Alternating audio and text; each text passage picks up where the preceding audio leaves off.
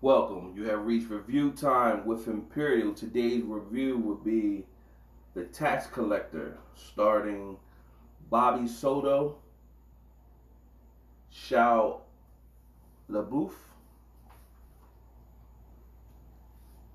and Cle Shaheed Sloan plays his bone. And uh Shia LaBeouf plays his Creeper and um, Bobby Soto plays as David. You also have a cameo appearance with George Lopez. He's in the movie, but he's not that much in the movie. But let's get into it. So this movie popped up, and didn't know what to think of it. Gave it a shot to watch, and it was de- decent. And so you know, uh, Shia LaBeouf, you've seen him in you know that uh, that um his earlier film where he was a teenager and uh, I forgot what it was called. It was like a Disney type film. Then he went on to Transformers. And Transformers, he was good. And then I get he was really the star of Transformers. And then when he wanted to, you know, cash out, they wouldn't cash him out. So they went in another direction and got another main character. That's when in came um, uh, Mark Wahlberg. And then you never seen Shia again seen Shia again in the news for various different things, and his image was changing. So this character, to me, is based off the image that he's been carrying, like this bad guy and just always getting in trouble. Now this character is not like the other roles I've seen him in. This character is more him serious. He's like a um, a henchman, you know. Uh, hitman, not a hitman, but he's an enforcer. There you go. So you got also uh, Cle Sloan. If you you seen him, I think the first time I seen him in any type of movie was back in Training Day, when um they were in the hood and Denzel Washington was saying, you know, he made that famous speech, King Kong ain't got nothing on me. I have all of you in Pelican Bay. That's the first time I remember seeing him in a film since then, uh, you know, I seen him. He was linked to that situation that happened with Suge Knight and stuff like that, or whatever. Then you see him in this movie, so he plays a, a key role in this movie. And then Bobby Soto, who plays as David, um, he's the lead character. So it's basically they have a family um, crime organization, and uh, David's uh, father is in jail and basically he's running business from in jail. And he's using his son as an enforcer. So david and creeper are the enforcers and what they do is go around and keep the balance. Um, as long as you tie with them nobody's gonna mess with you. They collect money for, off of businesses. They tax the drug dealers to keep everything aligned and so it can be peace and everybody get money together. So that's basically the bulk of the movie. The movie really doesn't. It's a it's an hour and thirty five minute movie.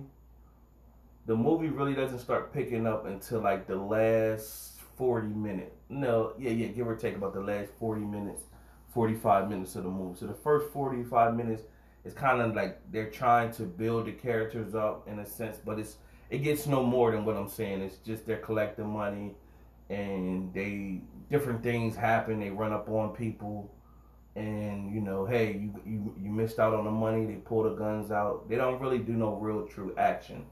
People that may try to short them on the money. David kind of has like he's don't have the like creeper is he which is a Shia LaBeouf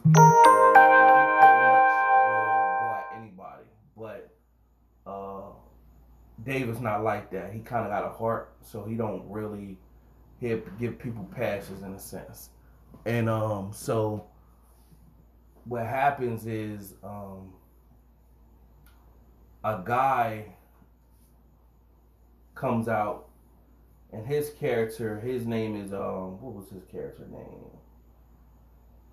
Conejo, and Conejo, he he comes out he's straight. This is a new world order. This is how things gonna go. it was known back in the day that uh, David's father had um, killed somebody that he was close to, or whatever. So he's coming over to take take take over. So one of the times they were supposed to get a tax um, collect collection, one of the people they was collected from, Conejo is there, letting them know, David know, like yo, it's a new world order. I give you a chance to be part of it. If not, you know, you're gonna get rolled on pretty much. So David runs back to his uncle who was played as by um, George Lopez, Uncle Lewis, and he runs by Uncle Lewis, and Uncle Lewis is scared because he know this guy Conejo means business, and when you see him, that means death is soon to follow. So um, that's the last time you see Uncle Lewis because the next time you see him, uh, Conejo tell him telling David, "Hey, yo, um, are you making peace? If not, you, all I need you to do is kiss the hand, and we can roll." David's pride not gonna let that happen, and so um, he shows David telling him, "I don't got no beef with you, man, but." this is business. And he showed David his uncle's head in a freezer or whatever. So they letting them know this war at this moment. Now, the part I don't get is at this moment is war, right? And you guys is dealing with all this money. It shows through the, the drug trafficking they doing, all the tax, and it don't seem like uh, David didn't have a he didn't have a strong muscle. He didn't have a crew. It was just him and Creeper pretty much. They had a couple other guys, but nobody like they didn't have an army. That was a minus. Too much money involved to not have an army, and then too much money involved to not have strong contingency plans. Like they still all lived around the way with all you know. Just didn't it just didn't make sense. So nevertheless, um, the wars Gary jump off and David has a wife and kids, so she had bad dreams, and he asked her what her bad dreams was, and she kept seeing death or whatever, and um, he lets her know what he experienced with her uncle and everything, and at that moment, once you see your uncle here, that was we got to get gone or whatever, you know what I mean, or she and kids got to get gone or whatever, but he's still meeting with the crew to devise a plan at the little auto shop they got. And sure enough, Conejo shows up, shoots up the um the auto shop. He manages to get away, but he he got Creeper. And so I thought it was going to be more to Creeper on this. He wasn't really, you know, they didn't. I thought it was going to be more to it where, you know, I mean, they could have made his character like be more um badass, but they didn't. So it you know pretty much when he died you didn't really you wasn't attached to it. You just like oh well that's it for him. So he pretty much Conejo tortured him beat him down bloodied him up everything and sent the video to David. And so at that moment David uh, grabbed his wife and she was all beat up and he was like yo we gotta get the kids they grabbed the kids from school and they went somewhere that they thought would be safe. So the wife went there. He said, "I gotta go make a run." So at his cousin's house, he had working for him the whole time. He shows there, go in the backyard, and they dig up this canister that the, the cousin never, nobody in the family never knew was there. And inside this canister was like 1.6 million in cash. And he said him and Creeper back in the day, they hit an armed car an armored car and just you know stash the money or whatever. So it shows him thinking back with him and Creeper. You know, at one moment him and Creeper uh, said they, you know, Creeper said I'd die for you, and pretty much. So at this moment, he called his wife and told her pretty much like, "Yo, I got the money. It was 1.6 million." But the wife was like, "We need to just get going. Don't don't stay and fight." And he was like, "I promise, we're gonna roll." So he shows up to the hotel. When he gets to the hotel, nobody's there. And, you know, so he had thought his wife had took the kids and um, dropped them off with the uh, with her relative or whatever. And as he's in the the bathroom window, you know, washing his face, he looks in the reflection of the mirror and he sees his wife laid out on the floor. She's dead. And so, you know, he went through emotional state with that. So that was pretty messed up.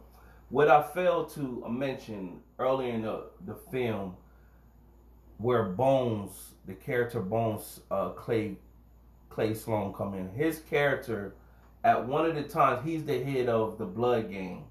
And at one of the times the situation happened, one of the members of his Blood Gang was getting tortured, and David came and intervened, told to you know, squash the beef, don't kill him, let him go, or whatever. So he brought him back, and then Sloan really respect David for that and was like, yo, basically, you're a good man. So now, when Conejo is got, he has David's kids, and he don't have nobody else to turn to because he don't got no army. He shows up, the Bone and his crew, and say, hey man, woo woo woo, I got a situation I got nobody else to turn to. They got my kids or whatever. So now they going on a hunt, and now they looking for his kids. They go to a different hide, a few different hideouts.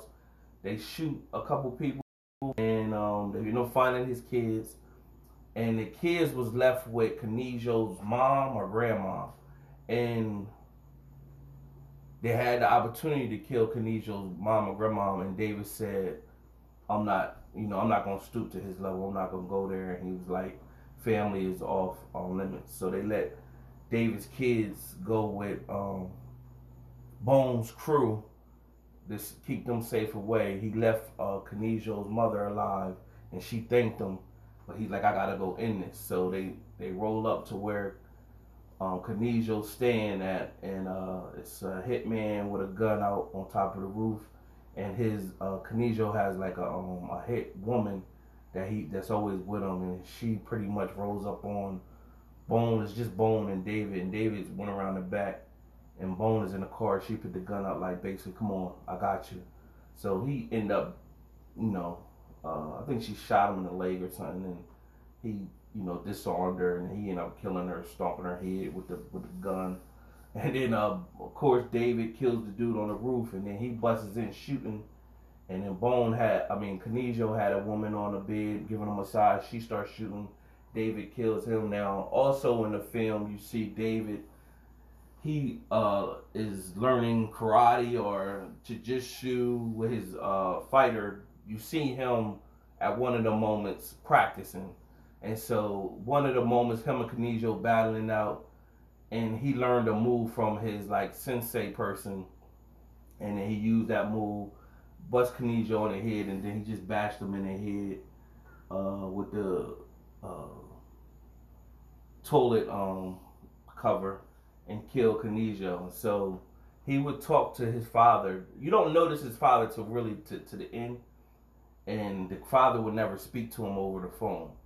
And then uh, he calls into the jail and basically tell him like, "Yo, you know, and he like talked to me, and then he finally talked to him and said, it was two of y'all, and now it's one, and he said, you know, basically the Grim Reaper came to greet you, and you fought him off, and now you don't last stand, and you're a king like me, or whatever. And he, and then basically David said, I don't want this, like I want to be do with this life, you know.